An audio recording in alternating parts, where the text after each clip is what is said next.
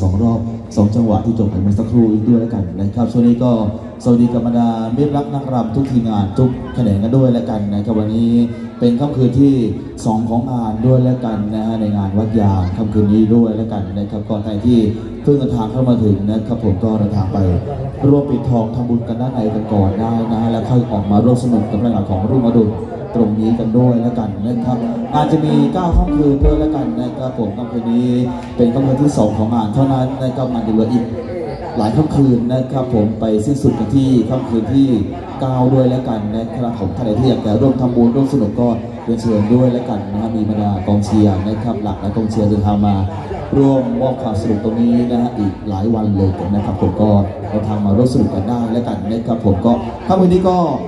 บริการเช่นเคยแล้วกันนะครับผมห้ามนำเครื่องดื่มนะฮะที่มีสุรานะฮะแล้วก็ห้ามห้ามนำแก้วเยติพวกนี้ห้ามนำพวกเวทีนะฮะแล้วก็ถ้าใครที่อยากจะร่วมบัตรเหมานะครับผมก็ตรงหน้าเวทีตรงนี้นะครับผมบัตรธรรมดา 20 บาทนะครับบัตรเหมาก็ 100 บาทเท่านั้นนะครับผมแล้วก็มีเก้าอี้นะครับผมตรงนี้ร่วมทำบุญกันด้วยนะฮะตัวละ 20 บาทเท่านั้นนะครับผมได้ร่วมทำบุญกับทางวัดนะครับผมท่านใดที่เพิ่งทางเข้ามาถึงก็ เมื่อยล้าจากการทำงานมานะฮะก็เช่าบริการเก้าอี้นั่งพักผ่อนกันได้แล้วกันนะครับผมทั้งได้